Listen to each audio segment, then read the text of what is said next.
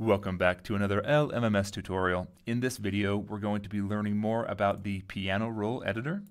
Uh, so we're going to be composing uh, music and we're actually going to be recording from using a MIDI keyboard or using our keyboard on the computer if you don't have a MIDI keyboard. So we can record in real time to get those notes in rather than clicking and creating them like this like we did in the last video. So to get started, I actually want to close out of a few of these windows. We'll just have just our song editor open. And I'm going to clear out what I just did here. So we click and go clear this track so it starts over. And I'm going to remove the rest of these. And then I'm just going to double click in here. So we're under triple oscillator is the instrument we're using now. I'm just going to double click and it brings up our piano roll. And if we press, while this is open, if we just press some keys on our keyboard, like the, the Y or the U key, we see it lights up on the keyboard, and as long as we're pressing it, it'll play that sound. So if you don't have a MIDI keyboard plugged in, you can just do it that way. So the keys are mapped, uh, sort of like the same pattern you would play on a piano keyboard, a MIDI keyboard. It's mapped that way. So go ahead and press some keys and get familiar with what the layout is. The bottom keys, it starts out lower to high. So if you press like A or Z, it's like very, very low. And then the higher keys like Q, W start getting higher. So there's kind of two octaves stacked on top of each other on the keyboard. Play with that, get familiar with how those layouts work. Uh, and then we're actually going to record, I'm going to try and record a song here. So to start recording, we just click record up here. And it's a good idea to check on this metronome. I'll tell you why. Because if we don't do the metronome, we just click recording, oh, the playhead's going away. And if we start to record a song, the problem is uh, it's gonna our notes are gonna be in between different bars.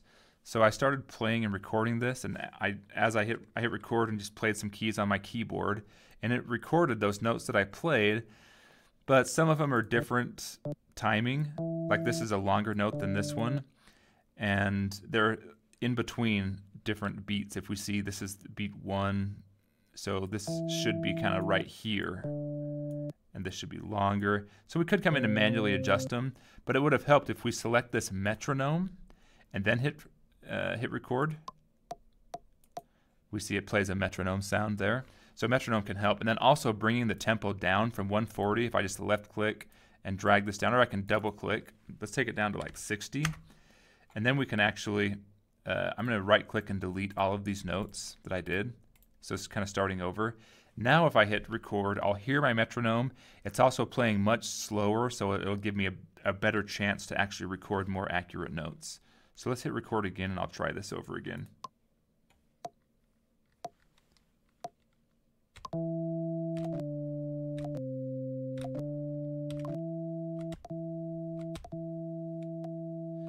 So that's much better. I see I was able to get it a lot more accurate, and I can hit the stop key.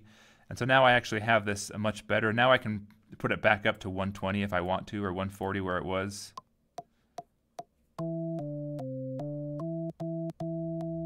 And I have a nice Mary Had a Little Lamb melody going on there. Okay, some of these other keys I want to show you on the piano roll, or tools that we have. By default, we've been using the draw mode tool. It's always been in draw mode. I, I showed you we can erase notes by just right clicking and that note will go away. So right click. But there's another way we can make notes go away, and that's by using the erase tool. So when we're in erase mode, then we can just left click on anything in erase mode and it disappears. Uh, there's also the selection tool. So if we hover over, and any tool, if you're not sure, just hover over and it tells you what it is. So it's the select mode. So it lets us select. We can select a certain note, or we can hold down with a left mouse clicker and select as many notes as we want. Uh, and then while they're selected, we can do things like if I hit the delete key right now, it will delete all these. If we want to move them, like I, let's say I want to move these so they start at bar one, I just left click and select everything. And then I have to go back to my draw mode and get to this little move icon. Then I can left click and I can actually move this whole selection back to bar one. So now everything will be happening on bar one. I could also transpose it. So if I left click, I can drag it down and have it be down here instead. I can also, if I go to the end, it doesn't work well with these, this selection, but I could make all these notes either a lot shorter or a lot longer. You see that? So it kind of relatively resizes them. So anyway, that's the selection tool. Um, we can also, so now everything's still selected, but I could select individual notes. If I select this one and I want to do these ones, I can hold down the shift key and select only a certain few notes without doing my selection window. Now these three are selected, I can make just these ones. Uh, come back to this draw mode and I can make these ones just longer or shorter, or I can hit the delete key and just delete those notes. If I hit, if I didn't want to delete them, I can hit Control Z and bring those notes back. Um, what else? Okay, so I want to show what some of these other things do. Did I talk about this in the last video? I forget.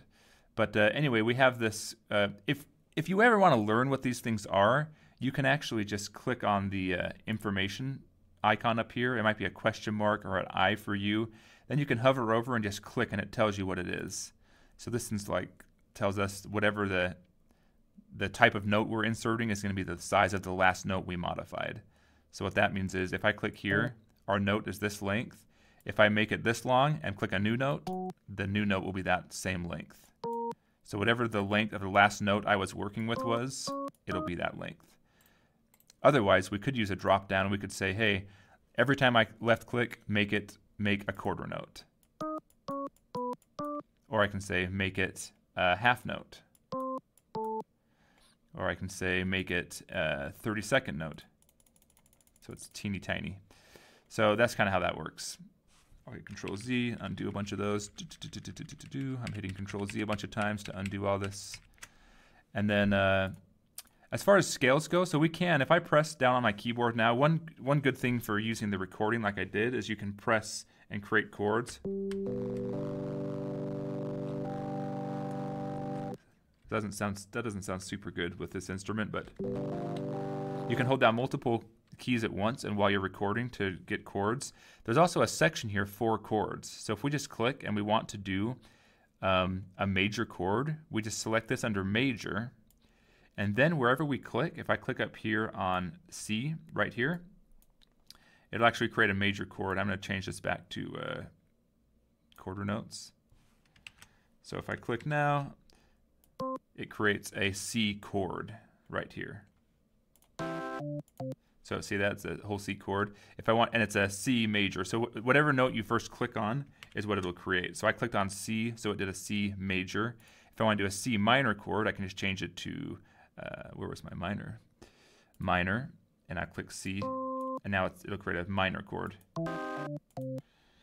If I want to do, and there's all, you know, every different variations of chords we can have.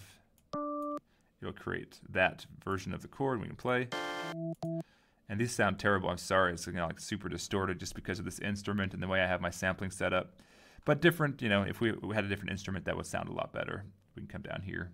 But that's the way it works with the with the chords. You probably get the idea. Right now, if you say no chord, then it just does a single note, which is what we've normally been doing. Uh, this Q just toggles how large the grids are. I don't know if you can tell in this video, but the grid size changed. So now when this is on like quarter, and I try to move this note around, it'll only move around in quarter note increments. More extreme would be whole note, or whole, uh, yeah, whole bar. Actually, what is this? Yeah, whole note increments. So it's like the whole bar is the only place it can move. And if I make it more granular, like down to 164th, then we can really, you know, fine tune where this is going to go in. So if you're not super familiar with music and timing of notes, that might be a little hazy to you. Just by default, it's on 116. That's probably a good place to leave it. Uh, then down here we have note velocity. So how loud that note is. And if we click it a second time over here, we can control the panning. So what ear that note appears in. In stereo, if it's coming out the right side or the left side of the of the of the uh, speaker. I apologize, it's getting so distorted and grainy. Um, that's just this instrument we're using. But uh, yeah, that's really what I want to show you with a piano roll. Go ahead and play with that. Oh, one more thing I'll show is this button here is to enable the loop points. So right now, if we have it just set here, it'll only loop back. I'm going to erase some of these so it's not so ugly sounding. But this will loop just this first bar over and over again. That's still ugly. But if we want to loop this to the end of the second bar, we can come over here and up here on the top and right click it'll change this. So right click sets the end point and middle mouse wheel click sets the start point of the loop.